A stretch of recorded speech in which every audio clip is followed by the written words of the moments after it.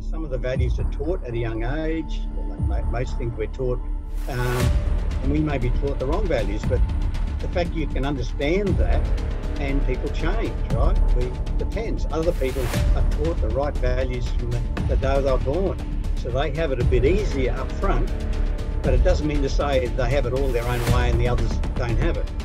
I know a lot of people have, have really had a struggle through their early life have turned out to be great leaders. And some of them great because of the experiences they've had being on the, on the worst side of the fence, you know what I mean. You know, like uh, disruptive family, household, etc., etc. So you can't use that as an excuse. It can be, it's a factor, but not an excuse.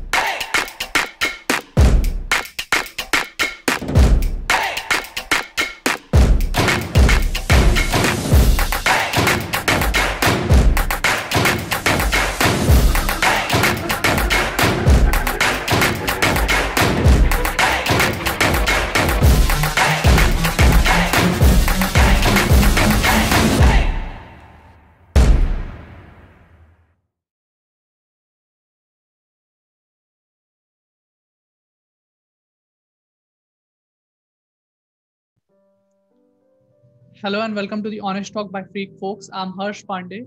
For this particular session, our guest will be Mr. Ross Swan, sir, who is here with us. He's a perceptive, responsive, and accessible consultant, coach, and trainer with broad experience in varied industries worldwide, including financial service, construction, energy, logistics, distribution, retail, engineering, hospitality, airline, and manufacturing. He is also a dynamic speaker with outstanding skills in leadership, communication, presentation, training, team building, and interpersonal skills. He's a co-founder and CEO of Soul Inspired Leadership. So first of all, sir, I welcome you to in this session. Thank you so much for joining and agreeing to share your thoughts with us. Thank you, Harsh. My pleasure to have a chat with you. Thank you so much, sir. It's our Looking pleasure to. to it. So moving to the topic Looking of today's session, which we have chosen is a new age demand new leadership.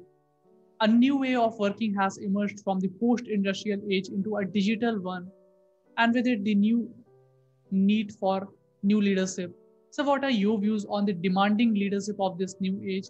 How will it going to be? Well, it's interesting you say a new leadership. I mean, leadership doesn't change in reality. It takes the same uh, knowledge, skill, competency really to lead people as it did 100 years ago. What's changed is the context, and what is changing now to, to, to still be successful as a leader, as a leader is you've got to be aware of the, the, the continual change um, contextually. And one of those, as you mentioned, is digital, digital, right? Uh, particularly, it's been heightened by the uh, current COVID situation that's forced people uh, or forced companies into the digital space. They had it probably planned, but it's they've had to really hasten their journey down that down that path, right? Because it, it's just meant one minute they weren't digital, next minute they are. Otherwise, they wouldn't survive. So, so but that's the context. It's not about. But leaders just got to be leadership's just got to be aware, and good leaders are aware that they need to be be very very conscious of the environment around them and change accordingly. Um, probably the only like there's one thing that's probably heightened. See that things just get heightened a little bit more. The emphasis gets more in certain areas. I mean, connect leaders to connect with people was never never uh, something you didn't do. Well, you may not have done it years ago, but good leaders did. It just means now it's more heightened and you need to be more aware and attuned to, to people and what they're going through because a lot of people going through some pretty rough periods. And digitally, on the digi- digital side, that helps you actually connect if you can't connect face to face. And and there, then and therein lies what we're doing. You're interviewing me over Zoom, where you know go back three years, and you probably wouldn't have. We probably wouldn't have done that. You know, that just it's changed the way we look at things. So, um, anything? Anyone want to comment or? Indeed, sir. Uh, sir, as you have told, the business world has changed dramatically over the last few decades, and now we'll now live in a connected society where change can be fast-paced, constant, and unpredictable. Rapid advances in the technology have created an environment where the internet, smartphone, and the social media are ambiguous. And the 2008 global financial crisis and 2020 pandemic has increased the sense of turbulence, danger, and unpredictability in certain areas. So, in your opinion, what critical skills required to excel in this fast-changing world? Look, I just think you need to be you need to be tuned into it I often often see uh, um, the really good the really good leaders are tuned into their environment. I mean, they're they're connected with it. Some just live in a world. The ones who find struggle, they live in a world of their own, in their own little headspace. They don't, you know, if they have to connect with other people, they do. When you twist their arm, that they just don't, and they they they tend to react to the world based on what they think other people might want them to react or not want them to react, whatever motivates them. But, but in essence, to, to be really um, sort of, I, think just meeting the challenges of the current environment and the way the way the world changes now, you've just got to be connected to it, but connected with with your gut, connected with your heart. I mean, you've got to feel people's passion, feel people's pain, and and, and in that acknowledge what's changing you around you, not just seeing things in a very um, black and white sort of. Movie picture, but see things in full cinema color. You know what I mean? Like it's you've got to just get a feel for what's going on, um, and, and a lot of that is, and all good leadership comes back to it, is you need to understand yourself before you can understand others, and to understand others is the key now, more, more so than ever. The, to me, digit, the digital space is a tool, but the actual, it, it helps you connect, connect with your, your, your other people, your customers, uh, stake, all stakeholders in the business. The digital space helps you connect a bit more effectively and efficiently, right? Uh, well, efficiently sometimes, not so efficient other times, but certainly effectively. Um, I'll rephrase that again. Efficiently, yes, all the time. Effectively, not always. You need to be sometimes with people to be more effective in that because you need to feel the energy. But but there again, if you if you understand these things, you feel and you read that. People who just in their head, it just goes whizzes whizzes past them.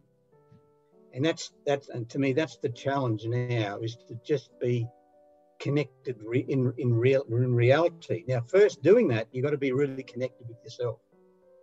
You've got to really understand yourself. And as, once you really understand yourself, then you start to open up a whole wor- world of understanding other people. Executives I coach, uh, I'm coaching them because their leadership is a bit below par, a bit substandard. So they've asked me to come in to sort of improve them, right? And that's one of the things. They just don't get a feel for people.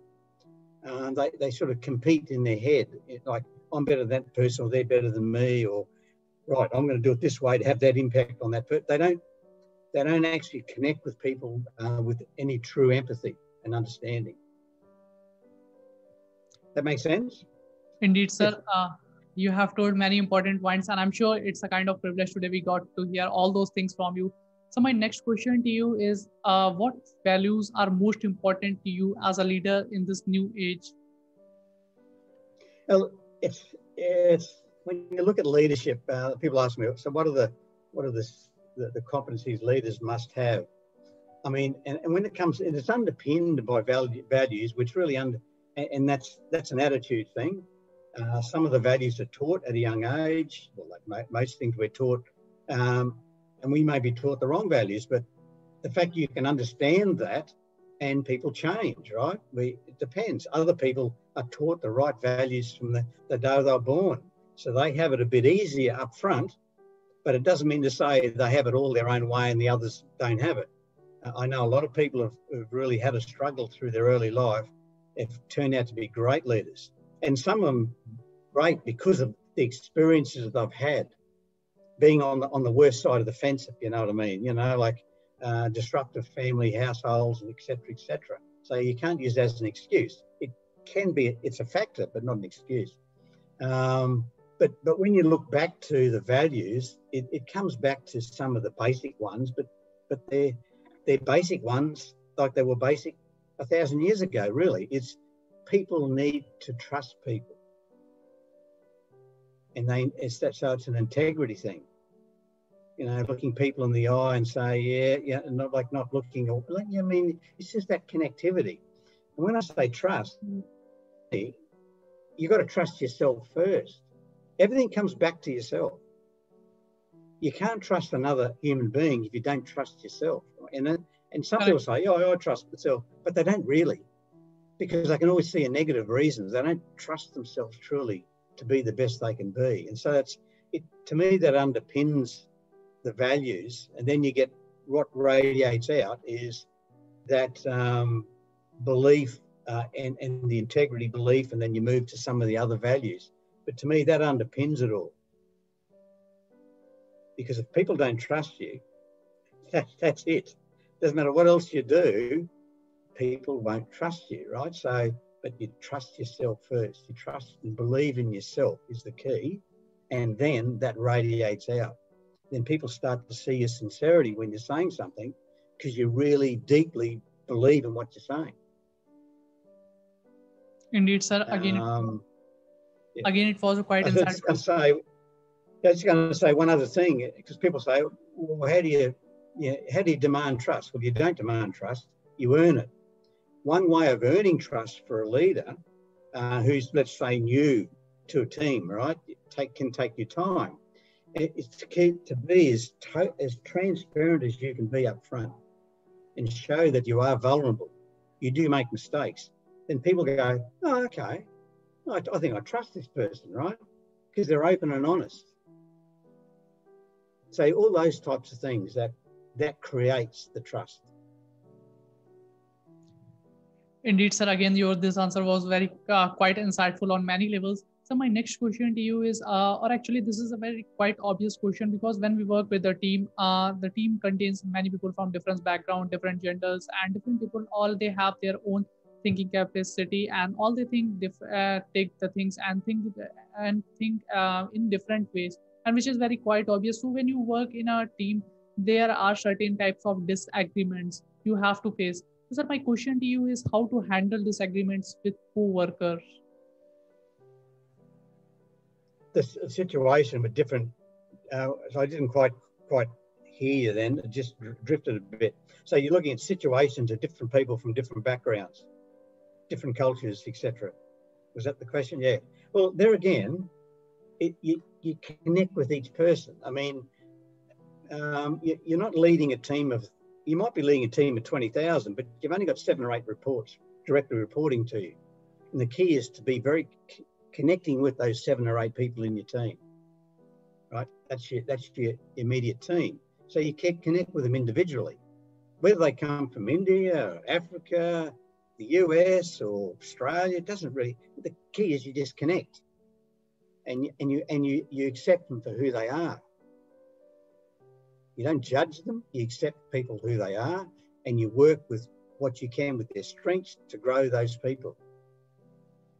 And so, so whether you you know it doesn't matter where you come from, that's not really a factor. It's a factor in your assessment based on well because you're from that country, you're more likely to be having a thought pattern this way, or you're more likely have a bit of a, you know, like a cultural bent on this particular way, or, or you're from India, you probably like cricket, or, you know, like, or you're from the US, you probably like baseball. Like you, you use the, the information to help you connect with people. At the end of the day, just treat them as people. The, the, the, the cultural differences are in, in people's um, programming in their head it's in their laptop. This, this thing here, it's a laptop, right? It's been having data inputted for years, right? So, and as we all know, whatever you put in the data, whatever you change a bit of data, what comes out of that, what comes out in the report is diff- different, right? But the fact is, once you understand what's going in, it helps you understand what's going to come out. That's all I'm trying to say. Yeah, there are differences, um, and, and there's often a, a conversation these days about diversity and, how, and, and those types of things. Well, if you focus on the diversity, you're actually focusing on, on the differences. To me, it's to me it doesn't make so much sense.